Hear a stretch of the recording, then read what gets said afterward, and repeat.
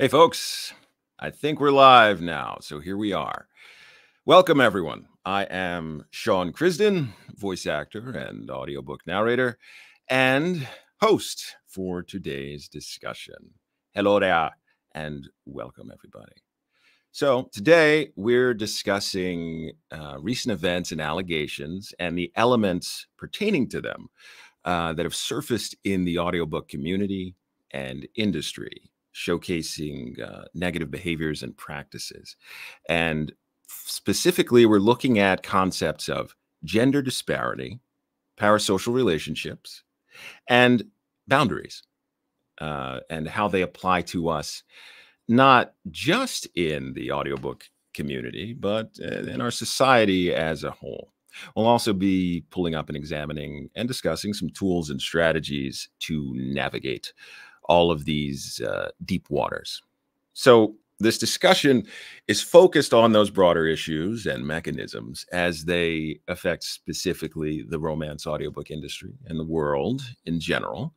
And our goal here is to promote positive, helpful thought and action on these very topics. So, of course, you can blame me. I opened my big mouth on social media through a series of videos that uh, I felt I was obligated to create to add commentary to the events that were happening as these things unfolded. And as a result of that, I wanted to dig deeper with another dialogue uh, with other individuals to talk a little bit more about it and have it occur in a public forum. To that end, let me introduce the guests who uh, have been tricked into appearing here with me. Um, first, we have Brittney Chabot. Brittney is the co host of the Drinking Ink podcast and an avid reader. And by day, she works as an executive director in the nonprofit sector. And by night, she's working on her first novel. So, Brittney, welcome uh, to the conversation with us. Thank you so much for having me, Sean. I was really excited when you uh, mentioned doing this type of forum because I think it is something that needs to happen a lot more often. So thank you. Thank you. Oh no, thank you. There's a lot of thanks to go around, but thank you for for participating. I didn't just want to sit here and talk to myself, uh, as is often the case with what I do. Additionally, we have Desiree Ketchum, blogger, author, and award-winning audiobook narrator. Uh, Desiree, welcome. Hi. Uh, thank you so Hello. much for allowing me to participate in this. I'm looking forward to a nice civil discussion where we can really bring to light some of the issues that I think have been shoved in the proverbial closet. So thank you so much for having me. Thank you for being had. Oh, I, I should probably reword that. also, we have TJ London. TJ is the indie author of the Rebels and Redcoats saga, an audiobook executive producer uh, in partnership with Elysian Nightfall Studios, and the Mohawk rocking mistress of the revolution. Uh, TJ, welcome. Hello. Thank you so much. This is really exciting. I think when I when we were dialoguing, I said um, I'll be cheering for you in the cheap seats. I guess I got the expensive seats, right? yeah, I, I don't, it, it depends. We'll wait until this entire thing is done. Then you can see how that went but thank you so much. I'm really excited to be here for the dialogue and and just to kind of I don't know add my perspective. Perfect. Thank you for joining us. Also, we have Paige. I want to do it. Reisenfeld. Paige Reisenfeld. Paige is a classically classically trained soprano and a stage actor turned SAG-AFTRA audiobook narrator. Paige, welcome. Thank you, thank you, thank you. I'm glad to be here and I hope I have something to contribute. I, I, don't know if if not, then we'll we'll come up with some kind of task or something for you. Thank you. Uh, everybody contributes. Everybody is a part of it. We also have uh, Leanne Robert. Uh, Leanne is a trauma informed professional with over 30 years of academic and professional experience working with all human beings. Leanne's uh, also, we used to work together in what seems like another lifetime ago. Welcome, Leanne. Thanks so much, Sean. It's great to be here, and I'm excited to be a part of this discussion. Thank you. Oh, super. Thank you. No, I'm I'm I'm glad you all made it. Uh, we also have possibly appearing uh, Lacy Laurel, who is another audiobook narrator and producer. Uh, Lacey is currently juggling some some scheduling issues, so she may appear midstream. She may not. If not, we'll just say terrible things about her um, throughout the the remainder of, this.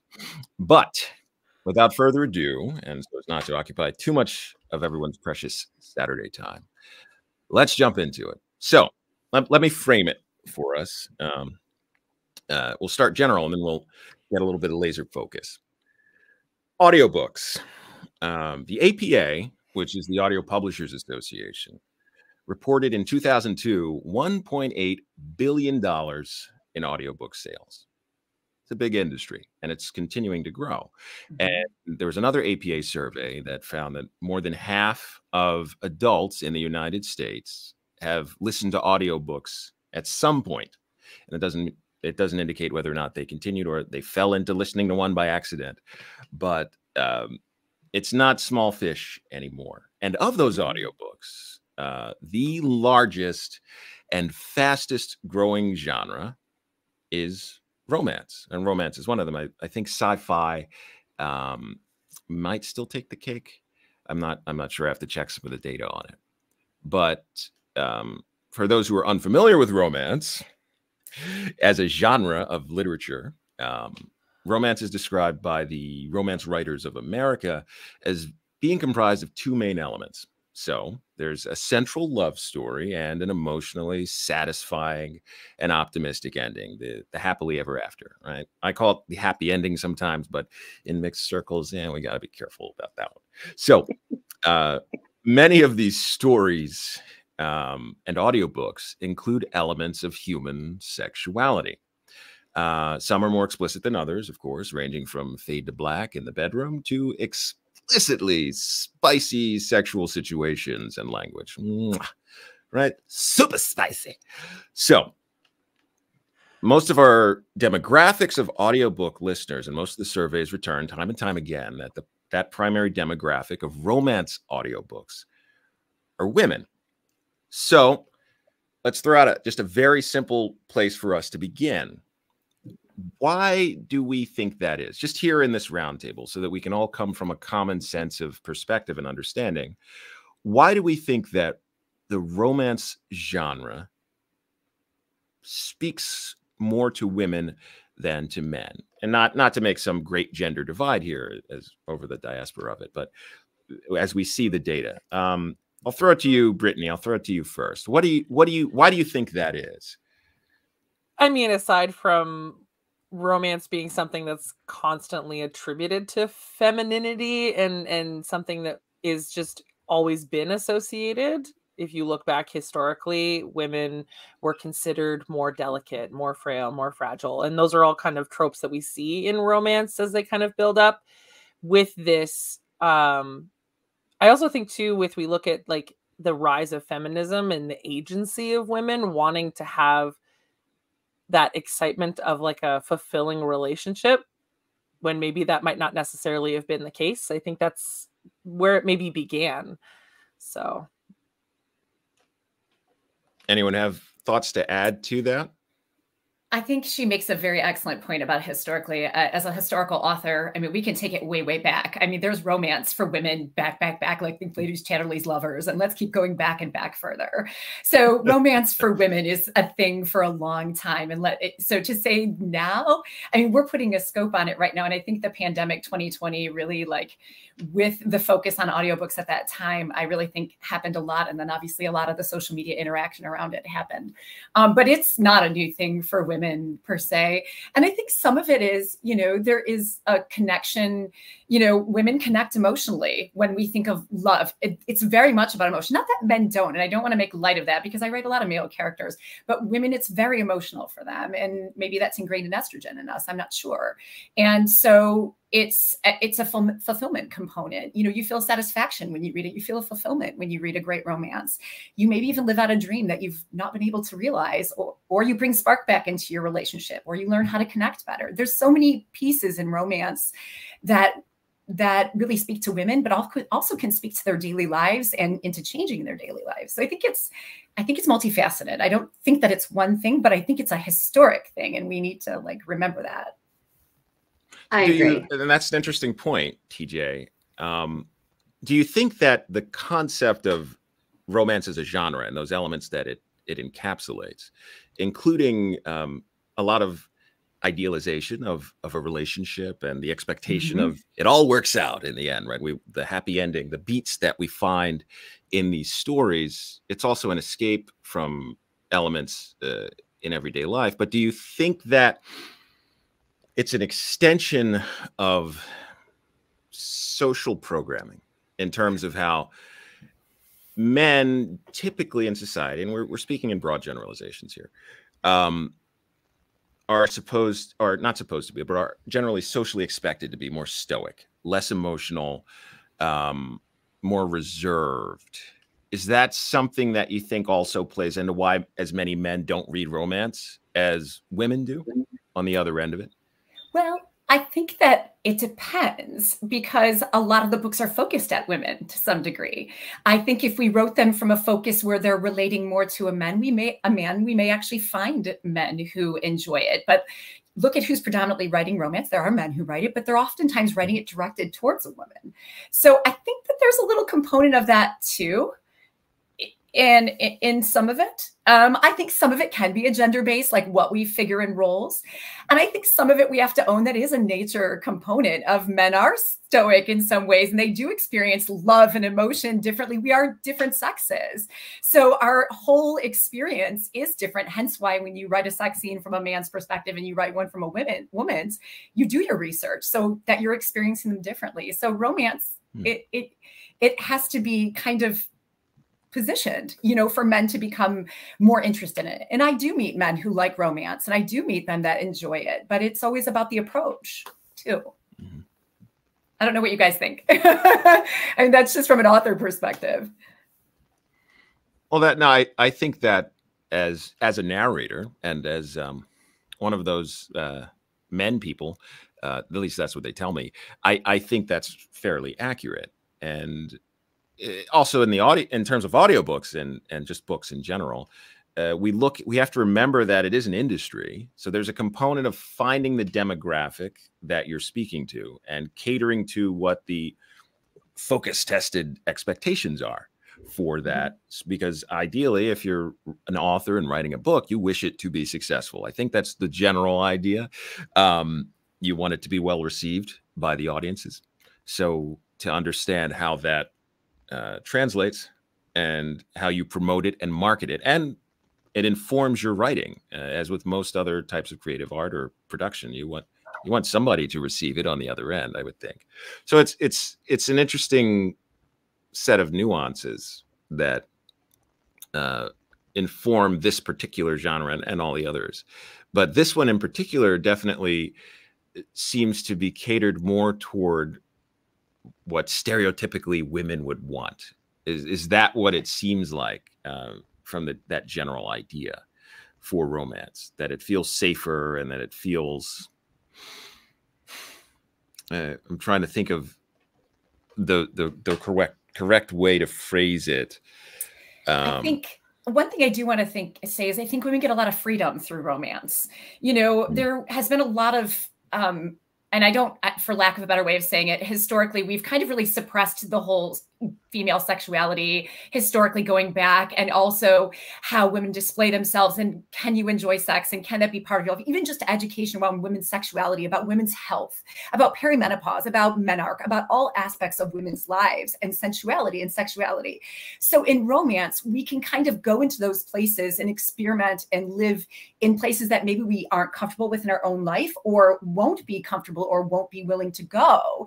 And or we find a freedom through romance to take ourselves to those places that may have been considered not acceptable for women in the 80s, even in the 90s. And then now, obviously, we have the 2000s and the 2010s. And then, certainly, going back to my mother's generation in the 50s, what they would, you know. And if we look at romance, it's progressed and changed. What's acceptable in romance novels and what has changed in what women are looking for. So it's very much, it, it has an empowering component to it. And I think that mm. Men haven't had that I, I, not to take away from them, they haven't had to really overcome that women have and are still, as we know, trying to overcome these things. So romance is kind of our space to live and dream and play and experiment and feel safe is a good way, I think, to put it for me. I, I really like how you put that. I was going to say safety and experiencing things that we don't normally experience in the realm. Or what would it be like if we had a partner who did these things for us right. or acted this way without necessarily mm-hmm. having to experience or without there anything being wrong with our partner in real life it's it is a safe way to experience other things in a way that is still ground grounded in the real world whereas men tend to gravitate towards fantasy that has potentially has love stories but it's there's a sense of i'm not saying that we don't do romantasy and stuff we do but i'm thinking more of contemporary or historical mm-hmm. In this way there's a safetiness to it. I can't speak. Well, I think, but, uh, go, go ahead. I was just going to say, in historical, we kind of live our foremothers. I write historical back in the 1700s. So I'm trying to own respect to their journey and what they weren't able to experience or were, or were trying to, mm. to try to take ownership of our history and not lose where we've gone and where we're coming to.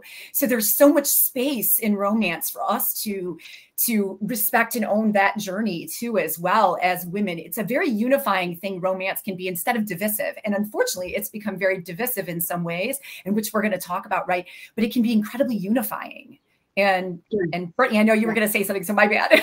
well, I, just, I was going to say that I also think we have to look at what the stereotypical gender roles looked like, yeah. historically speaking, right? Like women have always been expected to be the more emotional, more emotionally connected uh, mm-hmm. sex and men have always had to live up to the traditional standard of protector emotionless you know mm-hmm. not you know non-communicative and so you know it's not surprising that romance as a genre is where women tend to congregate when they're looking for fiction and that men don't typically enter these spaces because it's not considered manly or man enough right yeah. like it, it and then that is changing as we've noticed over the course of the last 10 years in the publishing sphere but i think that that's something we have to really take into account when we look at the basis of some of the issues that maybe that we're encountering I agree. that's a solid point and um thinking of that then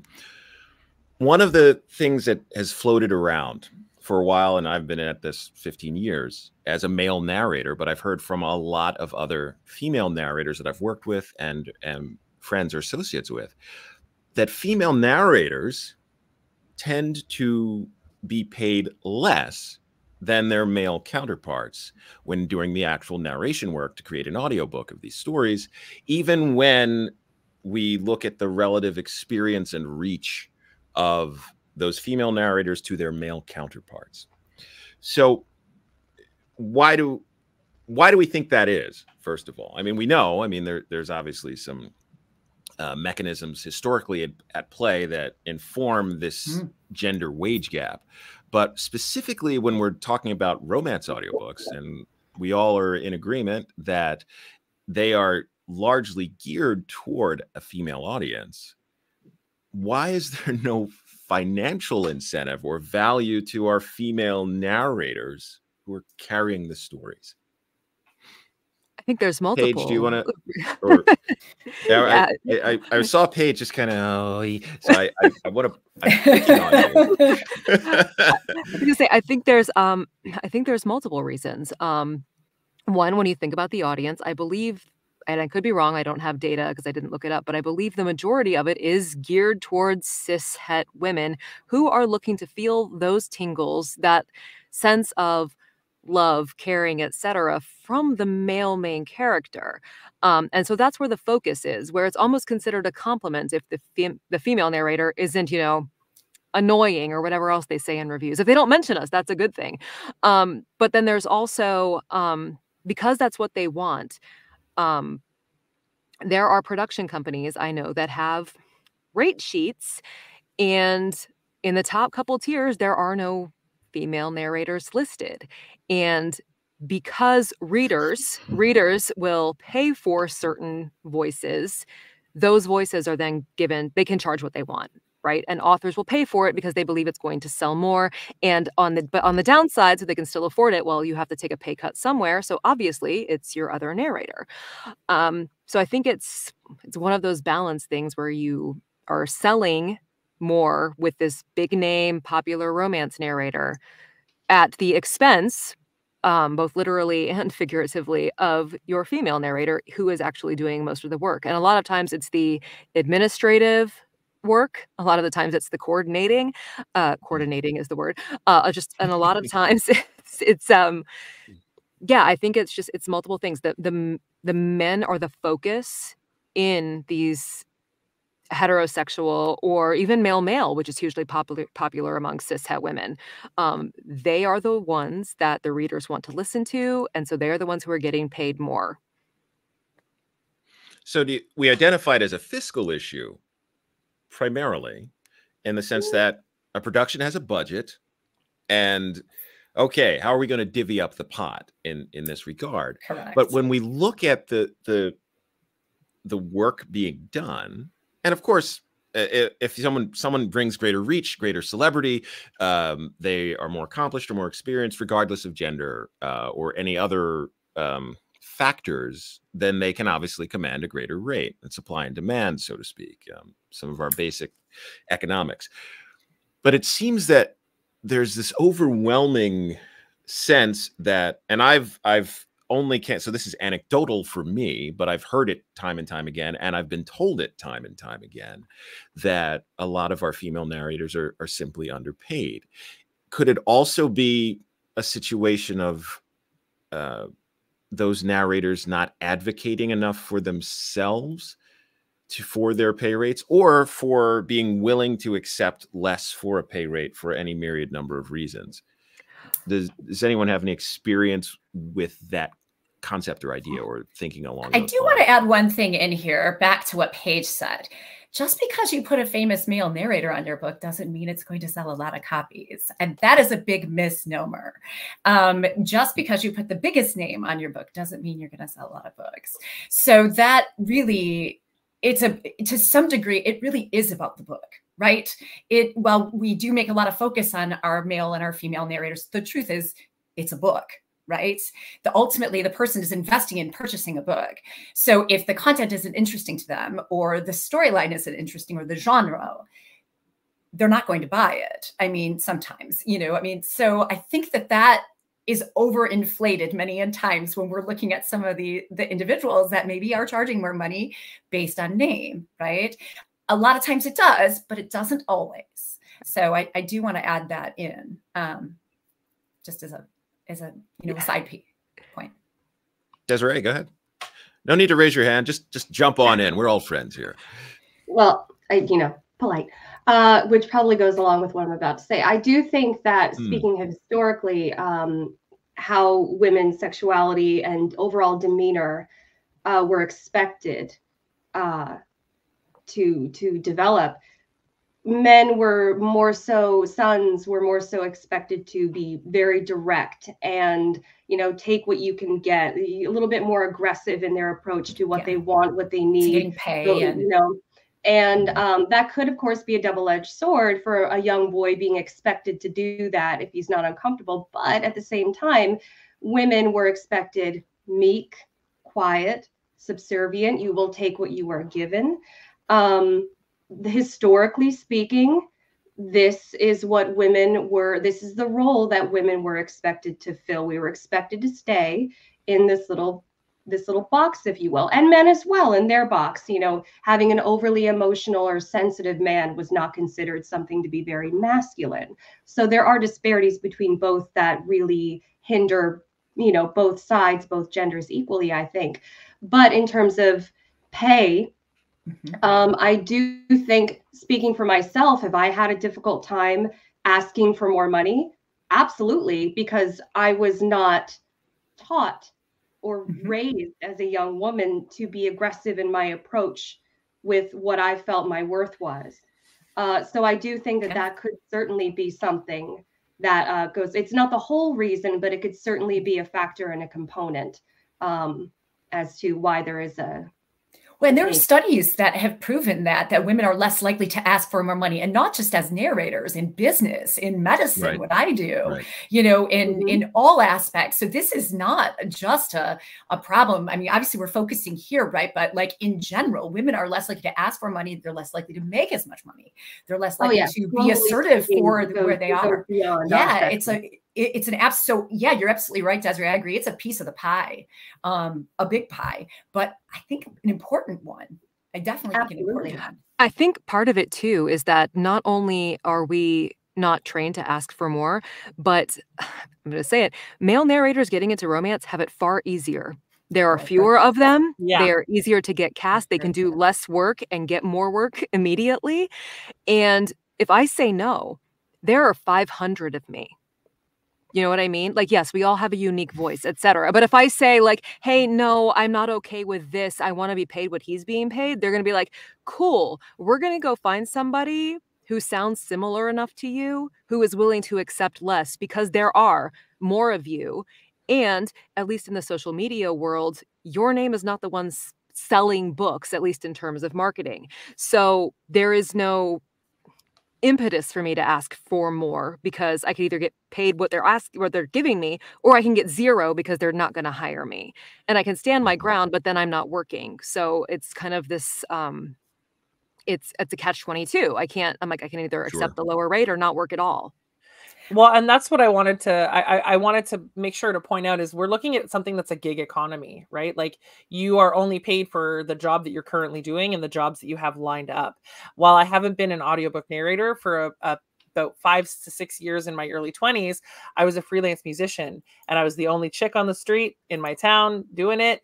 And making sure that I was paid and treated fairly as to the, the the guys was a challenge and I was grateful enough to have men in that space who welcomed me and mentored me. But that's something that we don't see in the audiobook space. There is um, a very low level of entry cost to entry, really, to becoming an audiobook narrator.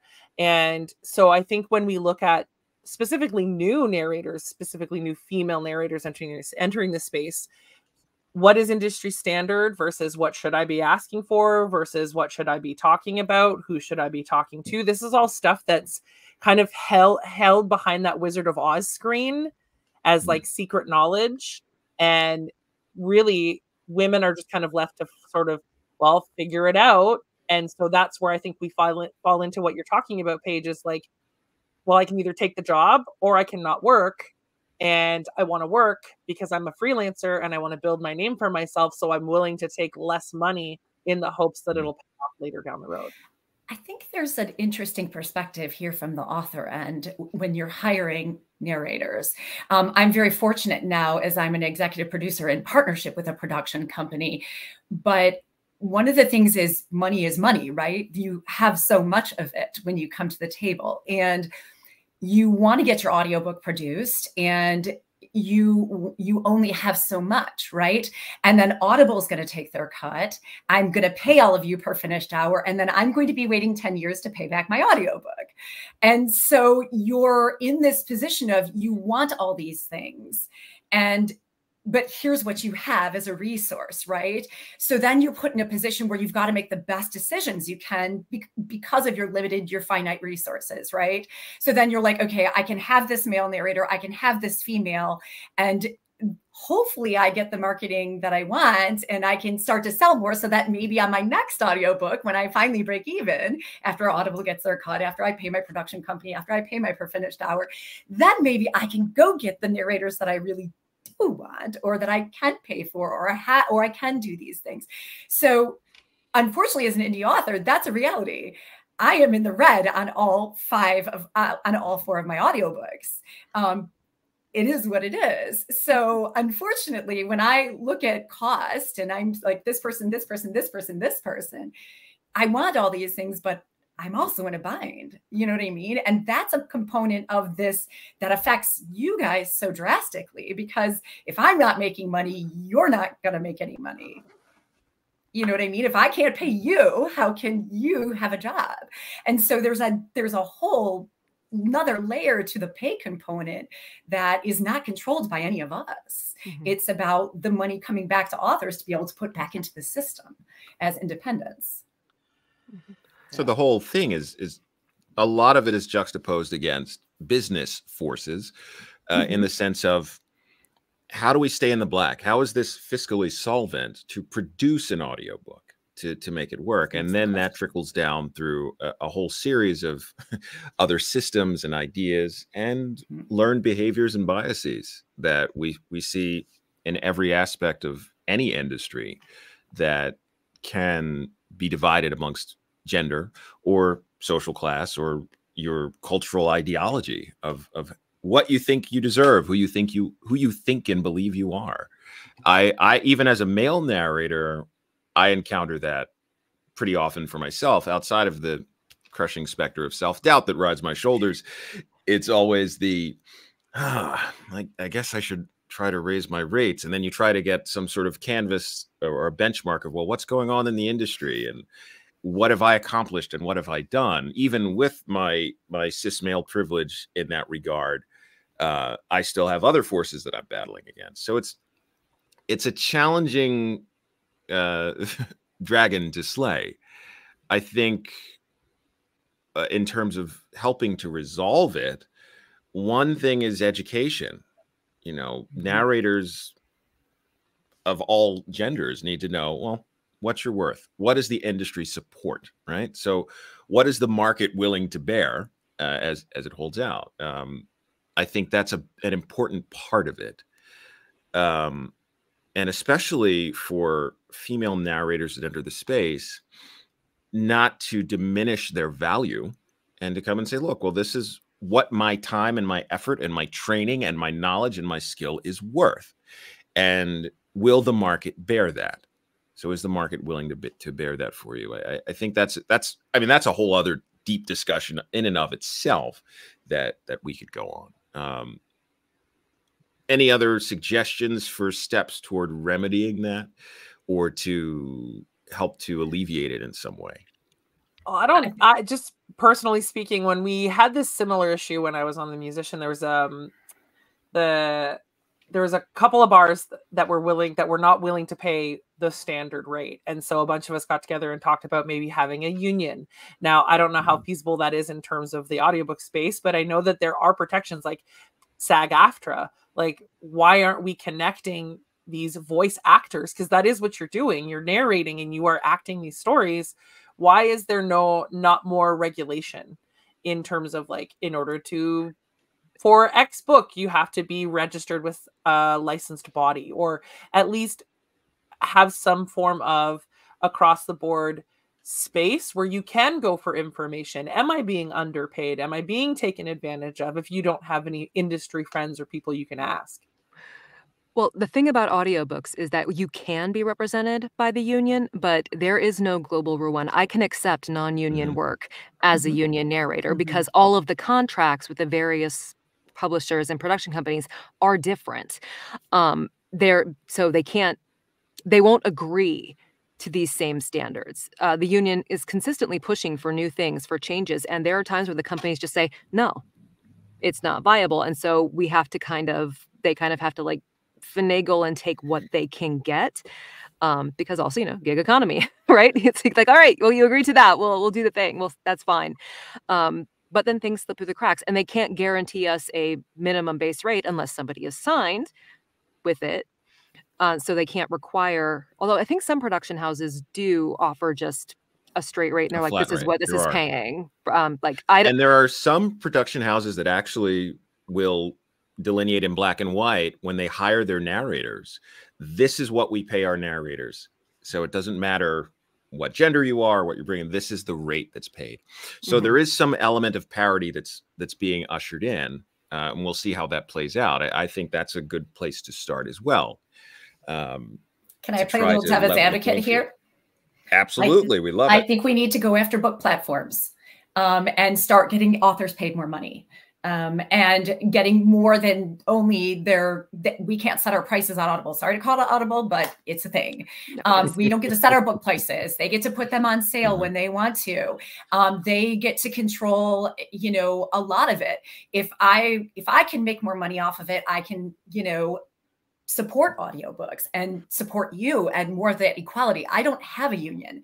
There's nobody who protects me as an right. indie. I I protect me and hopefully my production company or as for me my business partner is together protecting me. Mm. So eh, you get jobs through authors authors get paid through platforms so there not only do we obviously need to reach in that direction but again the system is propped up by the by the work and if the work worker isn't getting paid you can't continue to feed the system. That just is what it is. Oh, 100%. Um, so I yeah. think that there needs to be not only these things over here, but these things over here. You know, it, it's mm-hmm. women as authors, not just women as narrators. It's both of us mm-hmm. that are lose losing here. Um, yeah. and and we need to think about it in that vein too as well because trust me when i get a male narrator that i want to work with that's giving me this astronomical price and then i have my female there and i'm like oh you know what i mean? Like i i don't love those moments either.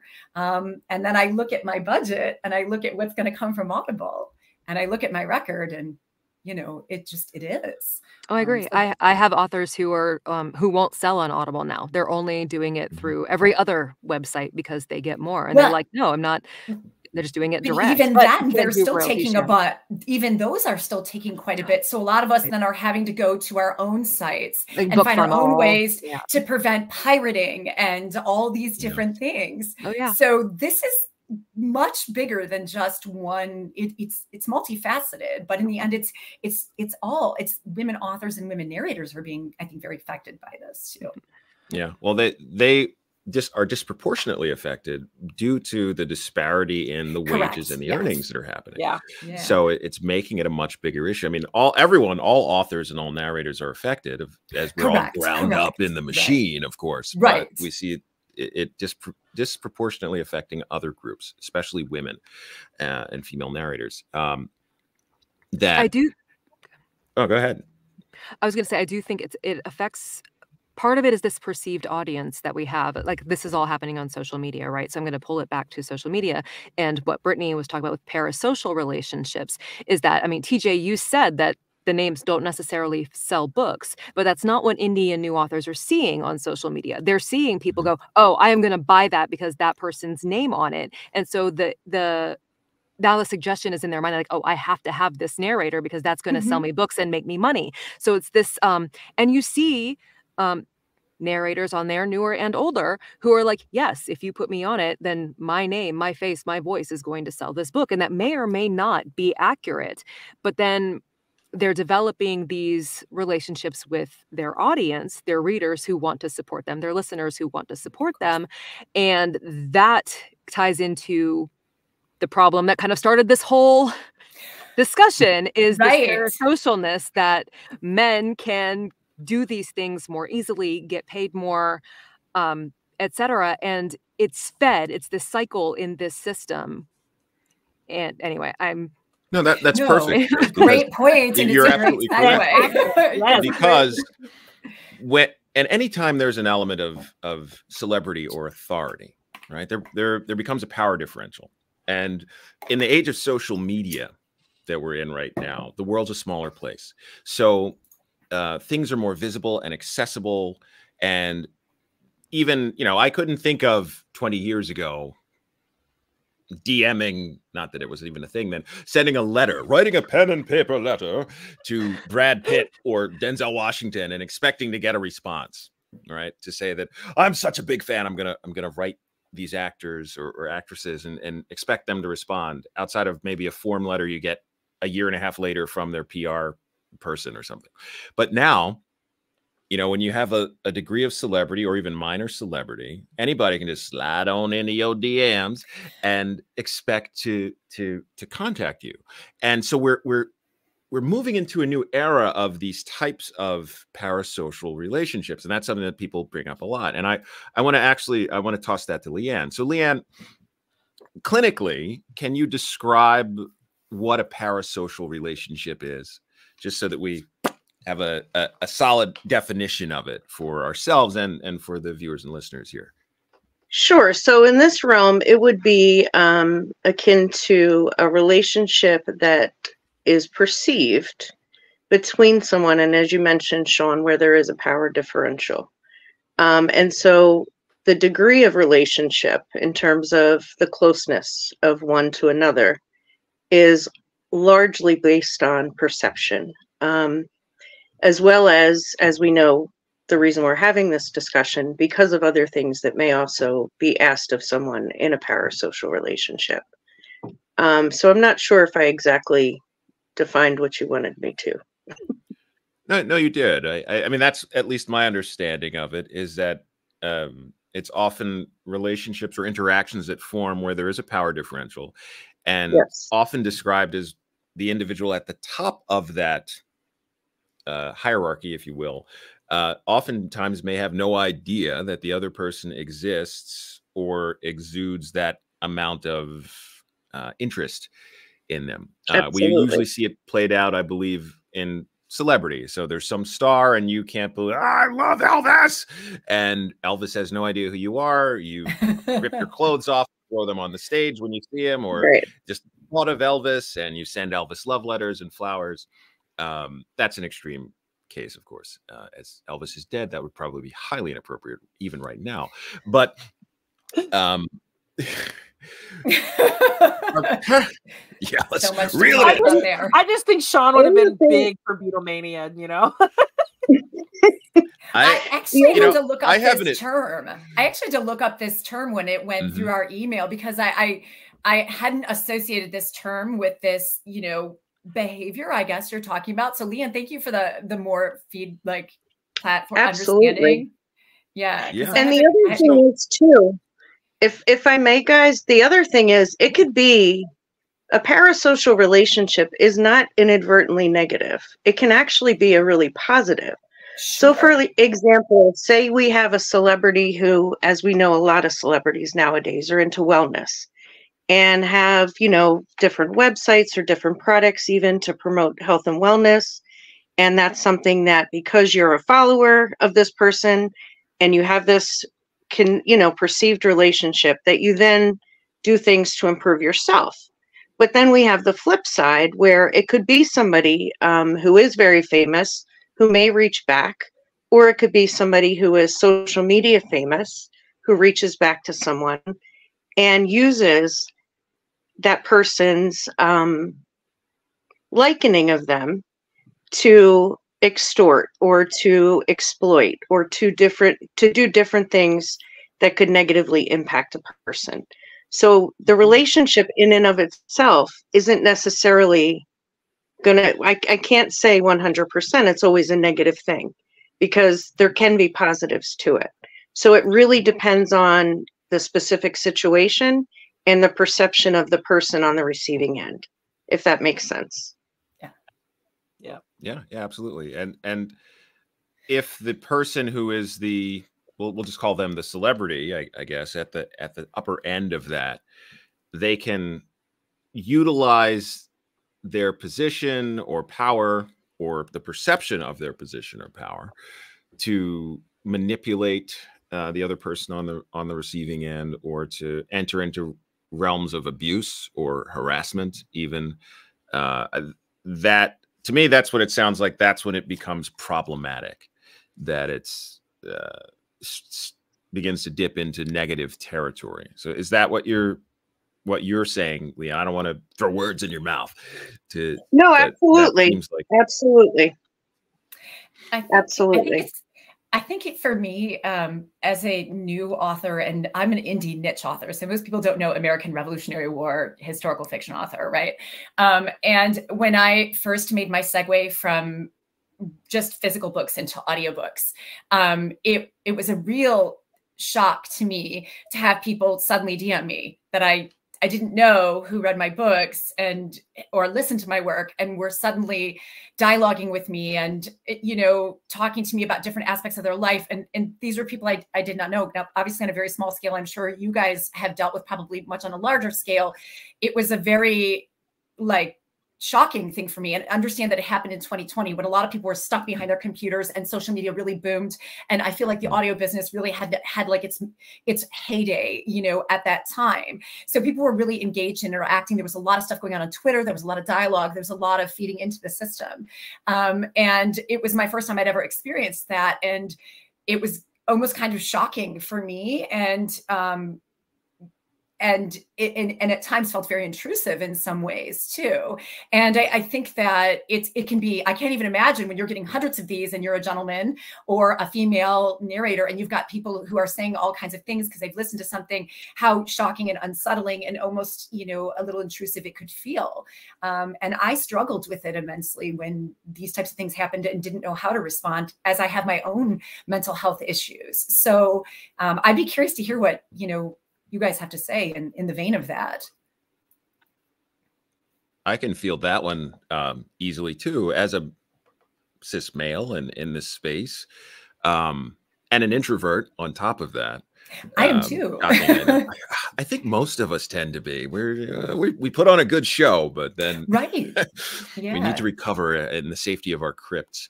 Um, when I like interacting with fans, uh, and I do a lot, I do not just audiobook work, but I do video games and um, commercials and uh, animation and things. So I, I, have various fandoms that intersect in different ways. In the realm of romance audiobooks, um, I am DM'd daily, easily, um, multiple times a day. And I, I have some fans that I've developed relationships with and that I know them by name and they, they'll ping me. I know some elements of their life. But for me, it's there's different elements of how I handle that. One is that I need to establish a sense of boundary and that I am a human being and I I feel and think and emote like a human. I have a life outside of what they perceive me to be my hashtag best life on social media or the characters I've played or portrayed. And in romance audiobooks, a lot of them are super spicy. So there's an element of sexuality that is intrinsic to that. So part of that comes with the territory. So I've accepted that. That, of course, I'm playing into human kink and taboo and fantasy as I'm portraying these characterizations in audio.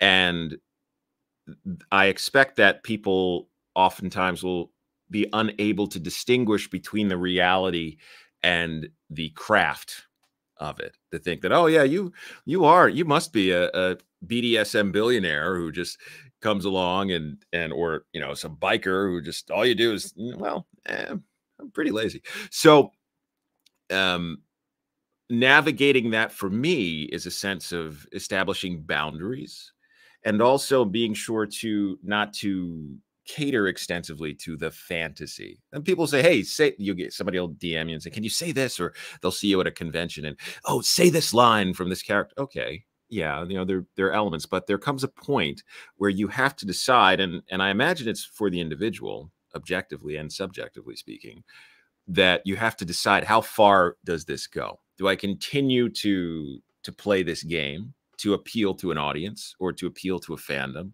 Or do I have to say, yes, let's all acknowledge that it's a fandom. I've done these characters. I can provide some of these elements for you, but also there's a line at which we accept that it is not reality and that morally and ethically, me as a professional, I attempt not to cross those lines. Um, that's something that all of the events that came up in in Romancelandia recently had me reconsidering even for myself to to say well have i done anything that i felt um, encouraged that type of interaction or shifted a relationship as a parasocial relationship into a more negative light? So that's something i'm constantly challenged with myself. I mean i'm i'd be curious to hear you know, most of us here have some degree of celebrity or authority uh, in our career. Um, how that's affected the rest of you as well, and how you've dealt with it.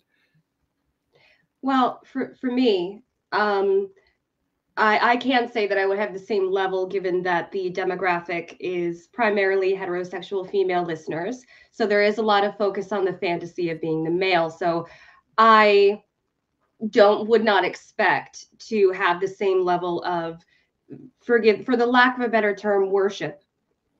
Again lack of a better term. Um as you know someone like yourself sean as a male narrator portraying voicing that um, male that that fantasy of that that male figure in that space. However i do still take it upon myself to have that responsibility of that of having a boundary. Uh, so the way i've always thought of it is the line for me is the threshold between my booth and the rest of my house so hmm. my booth i'm empty i'm a vessel, as I like to call it. I'm not me when I'm voicing these characters. I'm these characters. I am the author and their words and the the, the persona that is, that has been created in this world that has been created. Outside of it, I'm just I'm just me. And for, for me, it's very important to distinguish between the two worlds. And so, of course, what you're going to see or hear in an audiobook is hopefully someone who's pretty eloquent and uh, well versed and bringing the badass or sweet or whatever type of FMC that the author has uh, gifted via visual word. But what they're not seeing is Desiree sitting in her pajamas with Cheeto dust in her hair playing God of War for 24 hours straight.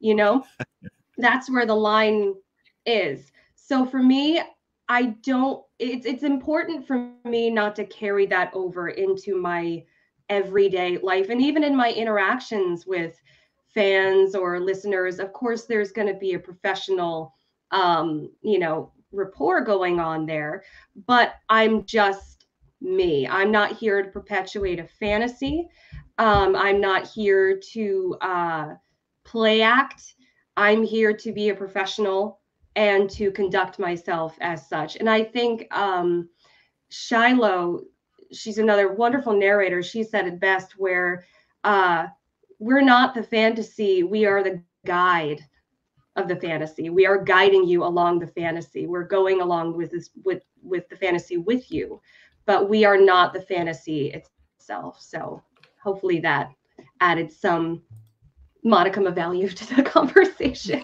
I'm sorry, I was mute there. I want to add something onto what you're saying because it's very important. You are you're saying that you're the vessel for it. And oftentimes, I think it happens a lot with male narrators where they become the vessel for the character. So they become associated with the character. And, and we saw in some of the recent things with in Romancelandia that so much of of a narrator can be associated with a person's work so that it really uh, ends up really having a, a, drastic effect on that work too. For some reason with women, we we tend to not see that as much, where the female becomes so associated with the female character and that it's really, you know, can have a downstream effect on the author and the work and this and all those different things. But we do see it with men. And you know, we have some of these issues that happen and then the fans have so associated that character with this particular male narrator and then we see that downstream effect that can happen um, yeah, I know that, I do think that comes mm-hmm. to. I do think that comes down to the responsibility of the performer to be able to separate themselves from you know them as a human being and who they are and the character that they're portraying. I do, do think it's very it's, it's, a very fine line to walk it between is. you know imbibing allowing this character to be a part of your being and then allowing space for them when it's appropriate which would be for Absolutely. me always in the booth. But it's up to us, I think, as performers to draw that line and hold it firm um, between, you know, the fantasy and the reality of who we are. Paige, you I, had something to add there? Or well, Brittney, Brittney? Brittney's been Both trying to speak. Can we let her go? I just want to say I want to I want to make sure we're also holding the community accountable because this has been something that has been I've seen an increase of in the last 2 years with respect to behavior from community members as well, right? Like, yes, there is the responsibility of the narrator or the voice of creating right. and establishing those boundaries. But as we've seen with other female influencers, with inappropriate Absolutely. behavior, rallying. I mean, we've all seen mm-hmm. the thirst trap where everyone's going, Hey, BookTok, where are you? I mean, yep this right, is a, right. a, behavior that is being encouraged by the community as well and i think that it's really important that we also hold ourselves accountable as consumers to call out this behavior and or and and make sure that we're not engaging in it as well because it's it's a we have to make sure this isn't a, a give and take relationship right? Like the narrator provides us with a service provides us with this fantasy. And as the readers we get to enjoy that. But it's also our responsibility as readers and consumers of this content to respect those boundaries and but to does, not go further but does just the narrator provide you with the fantasy? Isn't it also? Well, the, the I mean, the experience, the words, the words that sure. are being delivered. So it's the symbiosis of the two, and I think that yes. this is often a problem that gets lost.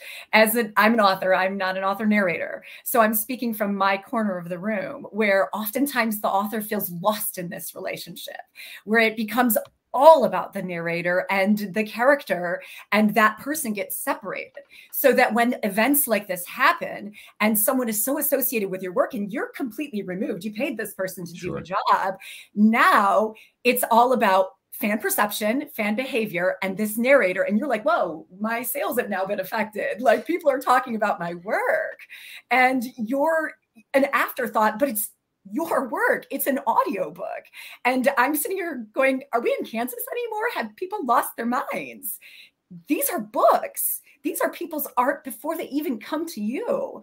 So I think that there's a there's a there's another component of this that we need to own on that there's another person who gets affected by these behaviors on top of the narrator it's the author too I, sure I think part of the issue is that when it becomes when that boundary is no longer respected and established by either side, and then the narrator, um, I'm sure there are female narrators who've done it too, but I've seen it most often with male narrators. They start feeding into it, right? And now they're not doing it as a character. Now they're doing it as themselves, and that is the problem. You were you're like, oh, you know, so and so's name. You as the person, I want you to say something, and I, I'll say mm-hmm. "good girl" mm-hmm. for me. Now right. you're not the character. Now you are sexualizing this person, and it's up right. to the narrator to be like, yep. hey, that's not okay. I'm a person, but you see because it feeds the ego, it feeds that mm-hmm. dopamine that they encourage it. You see a lot of male voice actors and some again some female um, especially like anonymous sex workers and that's fine i'm not knocking it that's what they're there for that is their boundary and that's cool Correct. but when it affects authors co-narrators production companies publishing houses you have to be responsible and respectful enough to say hey no I'm not doing this. Like we just did a Kickstarter, my partner and I, who also narrates, and we talked about doing messages. And my partner, PJ, was like, hey, no, I'm I'll do messages as a character, but I am not sending personal messages as PJ Freeborn.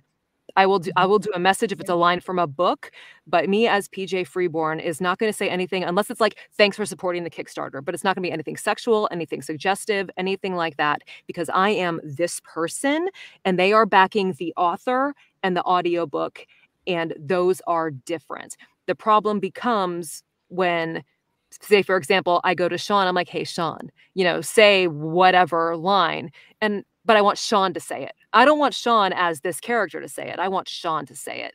And it's Sean's responsibility to say no.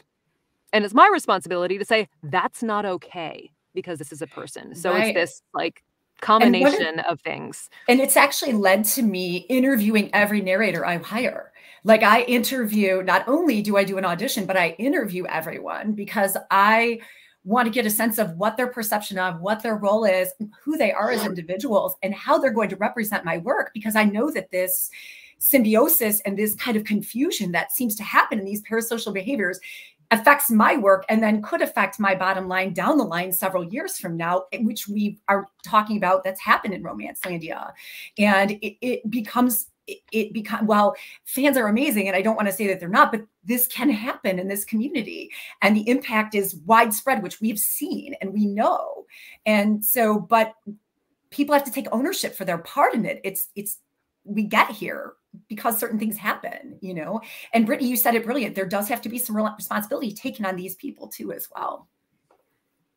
Yeah. I think the uh, as the entire community everyone's correct. We have to reinforce what the expectations are. what the boundaries are because as we allow things to happen and perpetuate or promote them which which happens and it's i don't think it will ever actually happen because as a community we are made of so many different voices and people and ideas but it it has to come from a predominant steering of of the the vessel to say that's not okay and it's one of the reasons why we're having this discussion anyway because a lot of times these things aren't talked about or they're obfuscated and covered or or sometimes um, parts of the community want to silence that and don't want to talk about it or to under mm-hmm. even to have a discussion to understand well why do you think this is problematic rather they just want to shut it down and rather than just having a conversation to say i still disagree with you or oh maybe that's a, a point you know so I, I always talk about the dialectic to try to to dig into the truth of things from different perspectives so that's why we're talking about it right now to hear it. Because even as a as a narrator, I've done messages for people, and if they say, "Hey, Sean, do this," I say, "Well, let's look at a character." But there's even a Sean Crisden character for me that uh, if you look at my TikTok videos, I I am not a social media guy. Um, there there's this sort of uh, I don't want to say suave, but th- there's a characterization of me that delivers ridiculous poetry or it's okay. Things. So there's even a, a characterization of myself that I promote that way. So I do that, but it's always for me to to delicately understand when do I pierce that boundary and have gone too far or have provided um, too much of myself as Sean Crisden, the human being, to a person um, where they feel that suddenly there's more in a in the relationship than is there, or fuel for something for them, as opposed to oh, I'm Dreo from the book Acrobat, or which is a popular one, or any of the other books. These characters and doing voices, so it's a delicate balancing act for me, as I imagine for other talent too, who who want to kind of say, well, how do I appeal to my fan base? How do I remain viable and accessible enough and still relevant in this ever changing world? I mean, we have the advent of AI and so many other, there's a million narrators or other voice talent people can listen to. So how do we how do we stay on the edge of that? So it's it's all this big bundle of crap that we have to deal with to figure out what works, what doesn't, what's healthy what isn't and what becomes problematic and uh, for me i feel like it's this constant ebb and flow of kind of teasing the edge of that sean can i throw in a really scary word? Professionalism. It's ah! not it's not just a verb. I mean it's not just an adjective. It is a verb and it is a noun. Professional you can be professional you can be professionalism you can make a choice to be professional. And look it up. It's and there are there are things that we do that are professional. And if you use those tools and you use them every day in your work life and then in and and when you deal with people you'll you can be okay. You know what I mean? we can navigate this world. These are not these are not i mean these are not new concepts. And unfortunately like professionalism just went out the window and even more so in 2020 and sometimes you just have to maintain a professional persona. And in the face of you can't control how people come to you but you can control your own you know behavior and how you respond and how you react. And I don't know. It just seems like such a naughty word. You know, what would what is the professional thing to do here? If you're getting DM by somebody mm-hmm. and they're saying inappropriate things to them, I'm sorry, that's inappropriate. Thank you very much. Block. You know, you're this is a lovely person. Thank you for reaching out to me. I'm glad you like the work I did on this. That's awesome. You know, and maybe you have a nice relationship. But hey, I think author. that's I think the idea of professionalism, not to cut you off, TJ. Yeah, um, no, no. I, I think it's more subjective though. And I think it's there's there's no hard fast definition of what everyone would feel like this is professional behavior i'll make sure that i well how would you eh, like to be treated what, i guess is what your mom right. says well well the golden rule typically is is paramount in most understandings of an interaction say, well, would I like that? But some yeah. people would.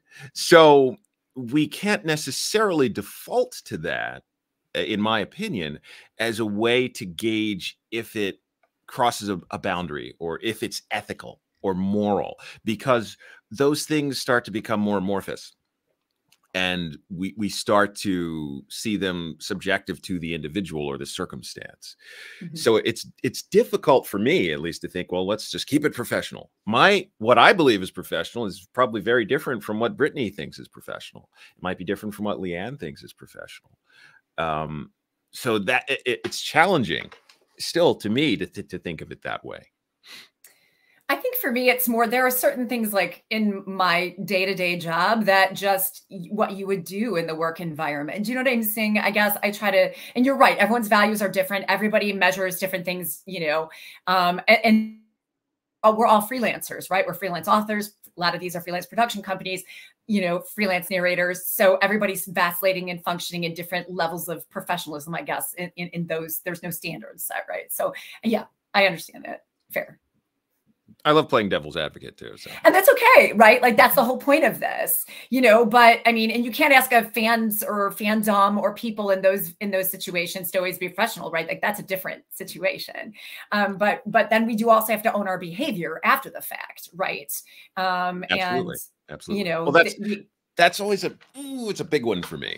And that you know, people talk about cancel culture and and these elements oh. of things. And, oh, the consequences of your actions. There we go. Now I look at it. I look at it in three. I, I think of it in three ways because again, and and this is I'm not trying to hijack our conversation, but just to kind of frame it.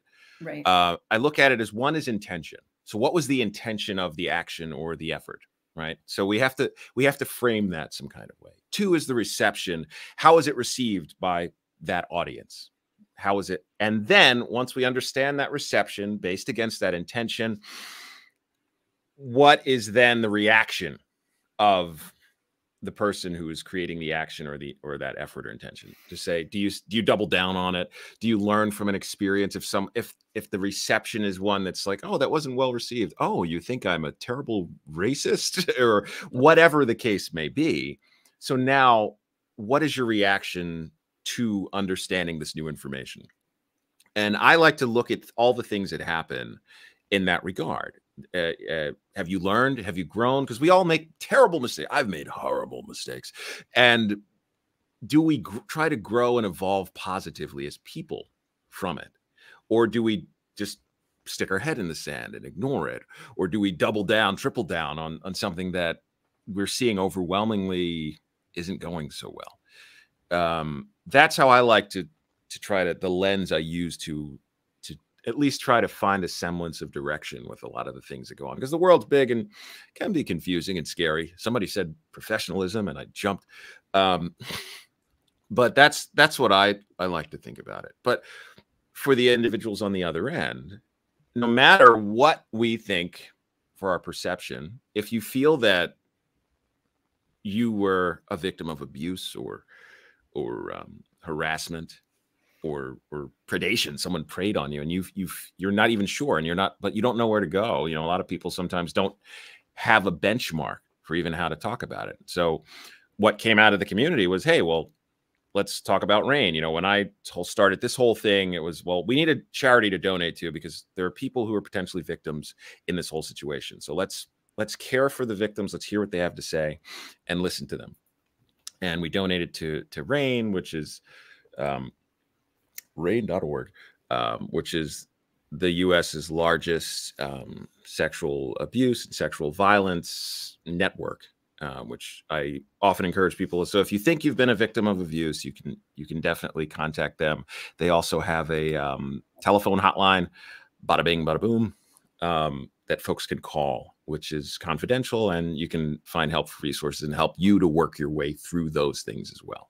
Because no matter what we say we're not professionals say for leanne um, and professional clinicians who can um, really understand everything. And that's the same reason why i made the every voice da-da-da, you know um, let every voice be heard let every story be told and i donated 50% of all the proceeds from that to RAINN um, which that's available on my website. I'm not I'm not hawking wares here. This is our conversation, but um, so that people can understand that there's these various perceptions of what's going on, and there are all these subjective experiences, so that you can find help if you need to find help or you feel that that's been an issue for you. Um, thinking of wrapping it up in terms of this this discussion is great and i want to keep going but i want to respect everybody's free saturday time um, what other tools for positive change regarding the way that these relationships work as authors as narrators as talent just as any degree of celebrity um, do you think can be utilized like if you could sum it up I'm gonna I'm gonna poke you, Leanne, first as our resident clinician. Um, that if you could find a way to sort of summarize, well, this things people should do should be to seek help, or how do I identify this, or what should I do if I feel like I am falling into becoming a victim in a parasocial relationship that I is out of my control. Uh, what would your advice to someone be? So, one of the biggest things I would say, Sean, is for an individual not to doubt themselves. Because as you brought up, I mean, so much of this is subjective. But what often happens is folks who end up in, in these relationships on the end of being exploited or feeling abused or being abused oftentimes will doubt themselves because of perception, because of other people's perception, because of public perception, because of things that folks on on this have mentioned in terms of, you know, um, people holding themselves accountable. So I think the biggest thing is if if someone feels that way, they need to acknowledge that and whatever feels comfortable for them in terms of reaching out for help would be most important but the biggest thing would be to accept and not deny how you feel as an individual in that situation. Because oftentimes people will blame themselves, especially if they've initiated the contact, which 99 out of 100 times that's the case. Um, and so just to, to acknowledge that how a person is feeling is not okay and that it is okay to reach out for help. I appreciate that. That's that's helpful Absolutely. to to know. Yeah. Um, what about on the other end? What do you think about if I suddenly felt, or you know, if Desiree or Paige or, or, Brittney or TJ, you know, you're someone re has reached out to them and they feel like they're moving into a direction that is uncomfortable, right? So that uh, productive discomfort, is as we we sometimes talk about. We're like, well, I'm uncomfortable. What should I do to make sure this ends positively? Um, it doesn't always, right? Then? Unfortunately, yeah. sometimes it's a matter of you know this is you know uh, we're we're done conversing here. Unfortunately, um, and it's true. I mean, you always you want you always want to. I I know with every interaction, I've ended up. I try to always be positive in them, but sometimes it's it, it does have to go that way. Okay, you know this is this is where this ends right here but trying to be respectful um, but it it it's a it can be a daunting thing but then like leanne said it can also be a positive thing. You know you i've ended up in some situations where i made some really lovely friends out of you know a couple of these situations too as well. So i think you have to kind of just be smart and just kind of you know thoughtful through the process. And because i think it's a process of working through it. Leanne i don't know how what you think about that but yeah, and actually, TJ, what you had said earlier too um, is coming to mind in the sense of drawing the boundary and saying, you know, this is not appropriate, and if it if it doesn't cease, going to that end of blocking that person or doing what you have to do, but mm-hmm. just maintaining that boundary and whatever professionalism looks like for you as an individual. Yeah. Um, because unfortunately, it is subjective. Yeah, true, absolutely. I agree. Thank you. I want to take the last couple of minutes we have here and um, open up some other comments from some of the viewers um, who were here. And uh, I liked this one coming in from RATS or RITS, which was uh, so creators and authors also need to reinforce their boundaries without fear of cancellation. And fans, if a creator or author is asking for something to be closer, let someone know and block. So I think that's that's solid advice. You know, like we all have the power to just blocked. um, and when something goes too far, and I I, I think 100% that is a solid recommendation and and method to say, you know what, I'm not expending any more energy on this. um, to deal or to negotiate or try to seem like it's it's all hunky dory. Um, and let's see what let's see what else we have. Sean, you know, I gotta add something here. I'm sorry to add in, but no, no, there is also it, a component of cancellation is real and mm-hmm. it can happen if you sometimes in in in in respect but there can be groups and fan bases and people and people in the community who you say the wrong thing and you're now in persona non grata and it's real and they're not afraid to do it um, in my professional career, not in this career, I was canceled. So I do understand what that is like, and it is traumatizing. And so if you've mm-hmm. been there before and there's this fear and fear that people will put not nice reviews on your books or they'll return all your books because they understand how these things affect you as because we have very savvy people unfortunately and fortunately it's a good thing right um it's real it's a fear and it happens and I know that there are a lot of people who can talk about it. And that's some of how we got here, right? That fear. And one of the things we really haven't gone there to as well. And that's a responsibility that these individuals need to own. And why would they? Until somebody calls them out on it, who helps these people who are afraid of being canceled. So, no, that 100%. Uh, even uh, we had multiply creator said yes we need to treat people behind the screen with respect more often than overstep boundaries yeah, absolutely. We, we as that. a part of a community. Yeah, please. Um, I think we're very technologically advanced as of right now, but I do think that socially we're still understanding, fine tuning the nuance of communicating with each other via these, you know, screens. So when you're sitting next to somebody or in a group and you say something offhanded and it doesn't get taken well, you can feel the energy shift and you can tell, mm-hmm. oh, I did I, I shouldn't have said that. That felt icky. You can feel it without words being spoken. However, with this mm-hmm. barrier, uh, it makes it very difficult and also it makes it much easier for lines to become blurred to not see the person on the other side of that screen as a human being with a life and um, with with feelings or with intentions whether they be negative or positive intentions i do think from both sides i think we need to be very clear and concise with our words about how these boundaries need to be laid out. I do think we need to go above and beyond with our communication, again, from both sides about what we're expecting, what is expected, and what is acceptable between, you know, whatever parties are involved.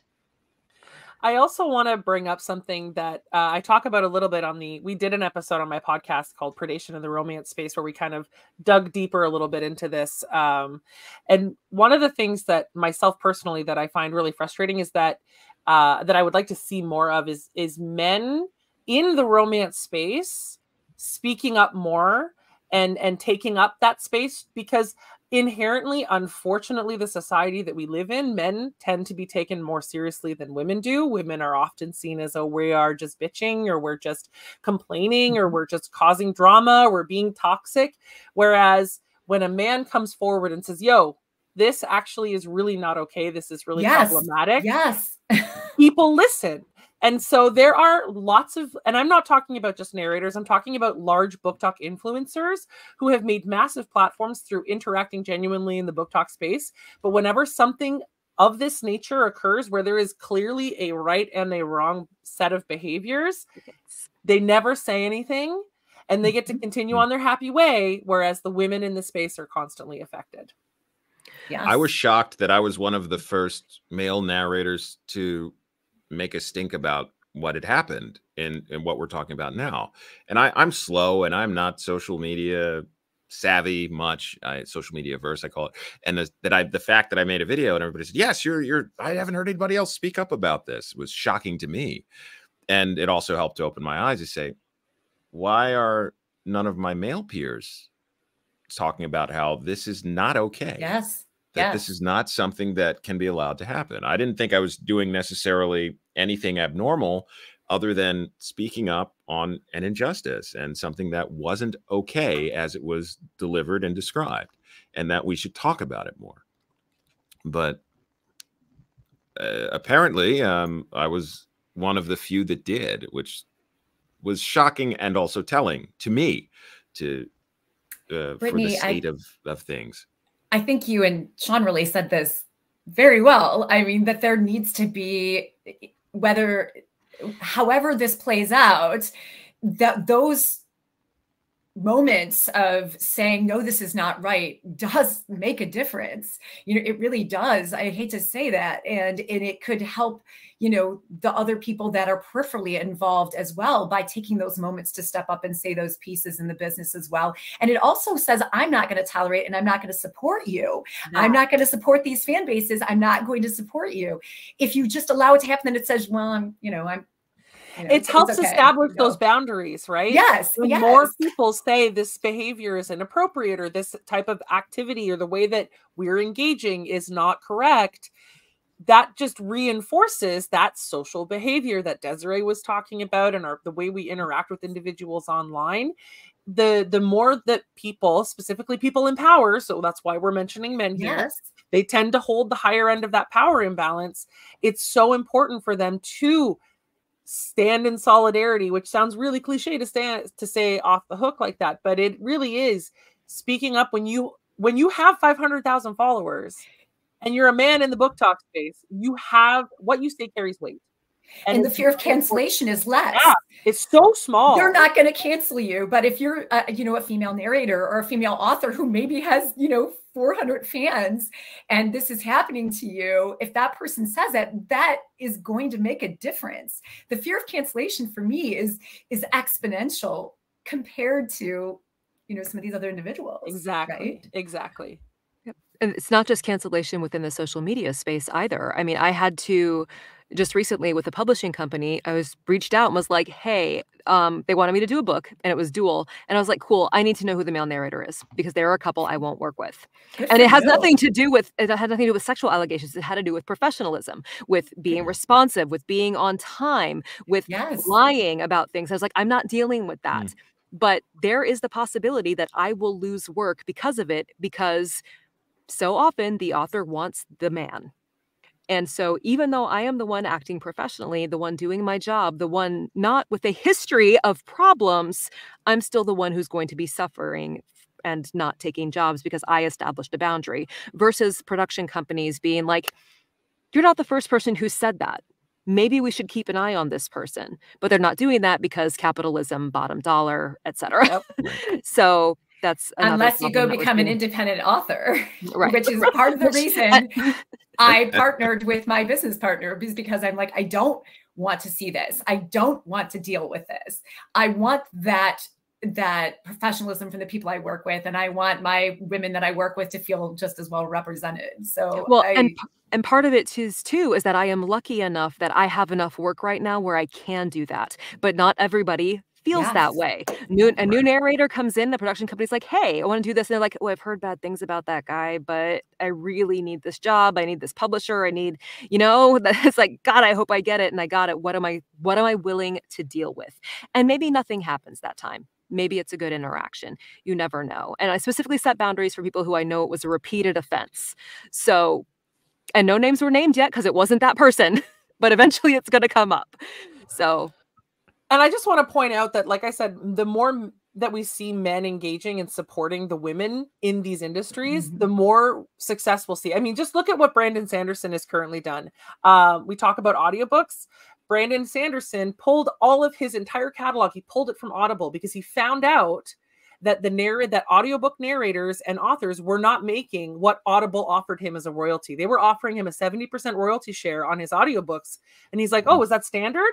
And they were like, well, I mean, you're Brandon Sanderson. He's like, oh, no, no, that doesn't work for me. Thank you. I'll pull all of my books and sell them elsewhere. One full year, all of his material was pulled from Audible. And he just recently announced, if I think if you can find it on his TikTok page and on his YouTube page, he has finally entered into negotiations and they've come up with something that is a little bit more satisfactory. He can't go into details. He says he can't give us the the exact figures now, but he was working towards increasing royalty shares and fees to to improve the industry as a whole. And I mean, that's Brandon Sanderson going up against the Zon. So, I mean, but mm-hmm. look at what one man who had with a massive power. Pla- with power and a massive platform yes decided to say, listen, this isn't working for me. So you know what? I mean, I'm just Brandon Sanderson, but I'm going to take all my books off your platform and we'll see what we can come up with in the future. Like that's that's the kind of power I think that men don't realize that they carry and the weight that sometimes that their words can carry in spaces like this when situations like this arise. Absolutely. Yeah. yeah it's the power of empathy and being able to see yeah. that that impact.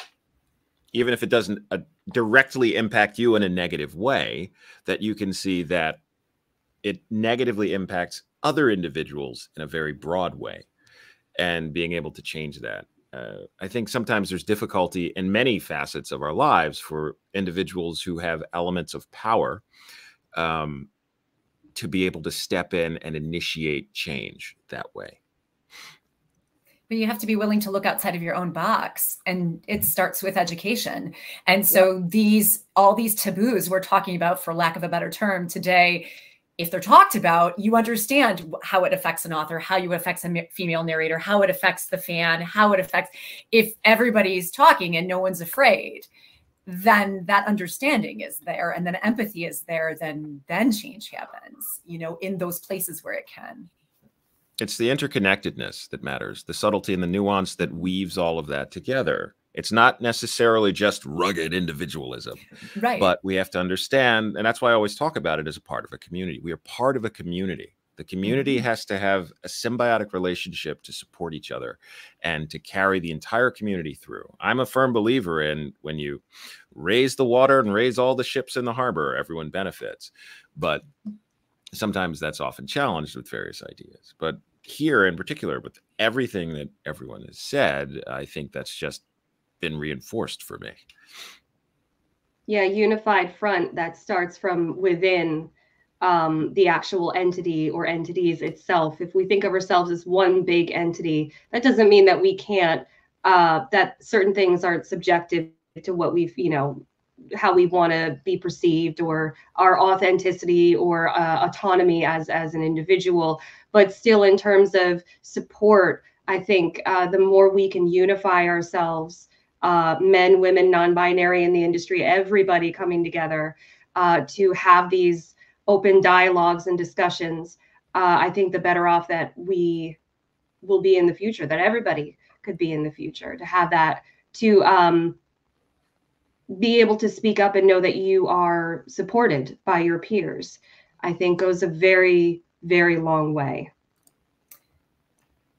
I always Agreed, say this one thing to, to my business colleague two truths can be this can be pos- possible at the same time because one person doesn't necessarily get along with a person doesn't mean somebody else doesn't.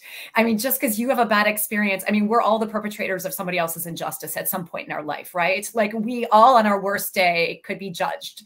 But we have to remember that just because one person doesn't have a good moment doesn't mean someone else does and that some doesn't have good business. And so there there also has to be a component of compassion and understanding as well as recognizing that not everybody's going to love working with each other too and not everything's going to work out and it's not that that person is a bad person. I'm not using the example of the bigger problems that we're talking about but just in general on the day to day and i think it's grace and understanding that we say it all the time but do we practice it? And as women we should be really good at this. I mean grace is something we're forced to do all the time right? I mean my husband for god's sakes i grace all the time around there. Um, but grace and understanding and remembering those things. And I, I think that that with fans, with each other, with the business. Perfect. Yeah. Thank you, TJ. Anyone else with any final thoughts before we wrap it up?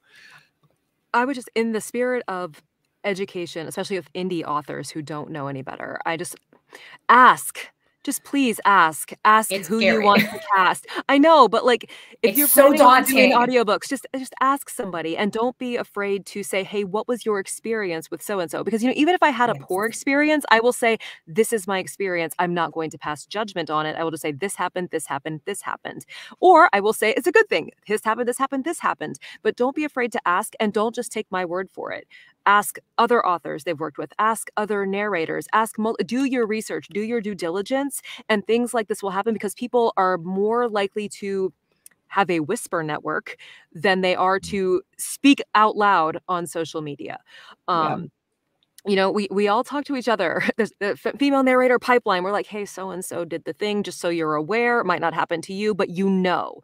And information, knowledge is power. So don't be afraid to ask. And it's daunting as an as an indie author walking in the door. You're you don't know. You know that audible can produce you know a narrator can produce you know there's independent companies you know i mean what is you know uh royalty shares what is per finished hour? There's no guidebook. There's no guidebook I, I do. that tells I have, us I have oh, a guidebook. I have a oh, guidebook on my website. it seriously because, like, I when I came in, I'm like, oh my god, like I don't even know. And and every author wants a different experience when they're going into the audiobook business. Some want to be very controlled with it, like me, control freak, and some people are like, no, I'd rather just somebody take it over, and it's daunting. And then we don't know, and we don't know about what we should be paying everybody and what's fair and and those kinds of things too. So I just want to bring up, make sure, um, because this is a very consumer based industry, right? Like we're paying for product, we're paying for services, we're paying for output. On both sides of the spectrum, read your contracts. And if you don't yes. understand something, red pen, highlighter, red pen, highlighter, and ask. And know that contracts mm-hmm. are negotiable. You they can negotiate be. your con. You should be able to negotiate your contract. And if they don't, that's a problem. Red flag. Yes and also as consumers there are protections for us. And so understanding what your state or provincial in my case hello from canada uh, whatever your provincial or state uh, consumer protection laws stay. Stay up to date. Ask questions mm-hmm. and and and be conscious that you know you don't have to say yes right away. You have the right to think. You have the right to read. You have the right to question and you have the right to negotiate. If you don't understand and you cannot afford to pay someone to explain it to you take the time to do it. You can also ask about the SAG-AFTRA contract. I also had to do that too, um, and learn what what the rights of my narrators are. I should know that too. As somebody who went and eventually partnered and became an executive producer, what are my narrators' rights? What's the right thing to do for them? You know, what does that mean? And that's important too. Not only the authors, but the narrators too, yes. and what those mean and what they look like, and that we should understand them too, so that we aren't taking advantage of those individuals or are the people we're working with are not taking advantage of those individuals. Oh, yes. And as someone in the comments said, Rat said, ask professionals, ask industry personnel. Mm-hmm. Do not ask an influencer. Do not ask a reader. Do not ask a listener. Yes. Ask a professional. Unless that reader also happens to be like a contract lawyer. Then, okay, maybe ask them. But like yeah. in terms of right. ask someone who is a professional in a capacity that you need to know about because somebody who listens to audiobooks and does not necessarily know what is in all of those contracts from every knowledge different perspective. is power. Yes, uh, in anything. So always arm yourself with knowledge uh, mm-hmm. as you're moving forward. Um, Leanne, uh, any closing thoughts from you there as we set sun, set the sun on this one? I think just um, everything that everyone has said has been very eye opening. Um, thank you all so much. And I would just say, as everybody said, you know, maintain your boundaries. Professionalism is subjective. We can do the best we can, and we just need to hold each other accountable and give each other grace as well as ourselves. Thank you, TJ, for saying that. so important. Desiree, any uh, parting comments? Um, I think totally this has been extremely productive. I think this has been extremely productive. Um, I think we need to listen to each other. I think we need to pay attention when concerns have been raised and uh, give people the benefit of the doubt. I do think there needs to be boundaries maintained on both sides of the fence. Um, I think we have the capacity, I know we have the capacity to do better as just human beings in terms of being, as TJ said, compassionate towards each other, giving each other grace, um, being open to dialogue rather than ready for defense.